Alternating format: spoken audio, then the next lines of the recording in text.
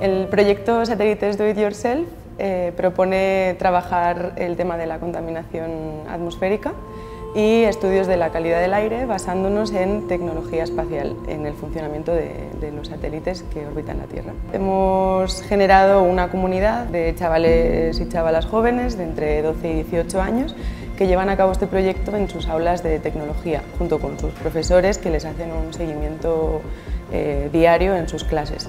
Y luego, una vez a la semana, se reúnen aquí eh, los jueves por la tarde eh, para trabajar en el tema y ayudarse entre ellos. We brainstormed around what products we wanted as a team to build um, and what we thought would be the most interesting um, way for us to learn but also achieve the goal. Uh, and then once we've narrowed down on that, that product we wanted to do, um, we broke out and people worked on what they uh, and what some people had expertise in. Uh, and then we built a prototype. Dentro del proyecto hemos desarrollado varios prototipos. Uno de ellos se parece a un botellín de bici eh, y la idea es que teniendo unos sensores de contaminación de monóxido de carbono, CO2, dióxido de nitrógeno, partículas volátiles de distintos diámetros y eh, un GPS que geolocaliza esas mediciones, eh, se puede llevar ese botellín en tu bici o caminando y la idea es que generemos un mapa colaborativo con datos de la contaminación por calle. Al principio del proyecto hicimos un estudio y en el estudio miramos cuáles eran los principales gases o partículas contaminantes más importantes o otro tipo de partículas que elegimos porque no eran, no eran tomadas en cuenta por la Comunidad de Madrid.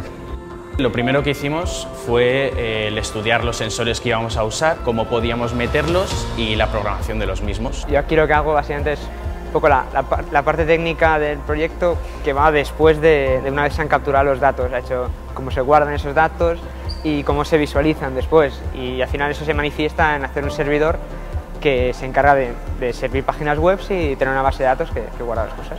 Para este proyecto, dentro de, un mes o dos, tendremos un servicio eh, de, préstamo para que cualquier persona pueda venir a utilizar este botellín y subir sus datos a este mapa colaborativo.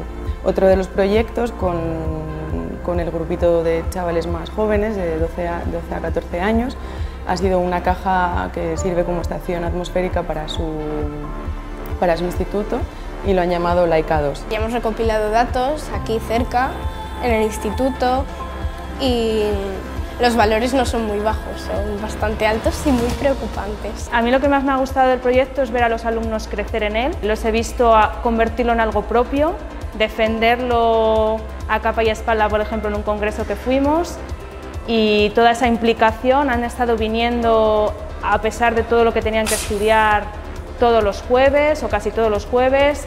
Después en el taller han estado trabajando, incluso en verano han seguido trabajando, así que han convertido esto en algo propio. Ha sido una experiencia genial, vamos, yo nunca me hubiera imaginado haber hecho algo así en mi vida.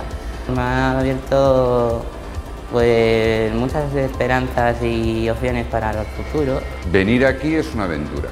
Siempre hay cosas nuevas, siempre hay gente que desgraciadamente sale y gente que llega nueva y que te aporta cosas nuevas y que te aporta ideas y que tienes una sensación continua de, que tienes que estar formándote porque no llegas, porque los conocimientos que tienes son limitados y la gente que viene aquí es muy potente, sabe muchísimo.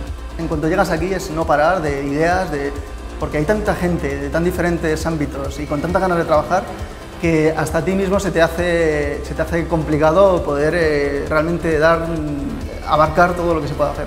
Los adolescentes necesitan implicarse en un mundo de adultos que les den oportunidades y que se sientan eh, dueños de su futuro y aquí se han sentido dueños de su futuro. Me han parecido gente majísima, muy muy formada, muy inteligente y, con muchas ganas de, de mover cosas. He conocido gente muy... con mucho coco, con mucho coco. Para el futuro de este proyecto, la idea sería trabajar maneras de visualización y zonificación de la contaminación en la que podamos crear una pieza mm, sonora que sirva como sensibilización también para la ciudadanía y el espacio público en el que esa contaminación se transforme en luz y sonidos, en transformar lo invisible en algo visible. ¿no?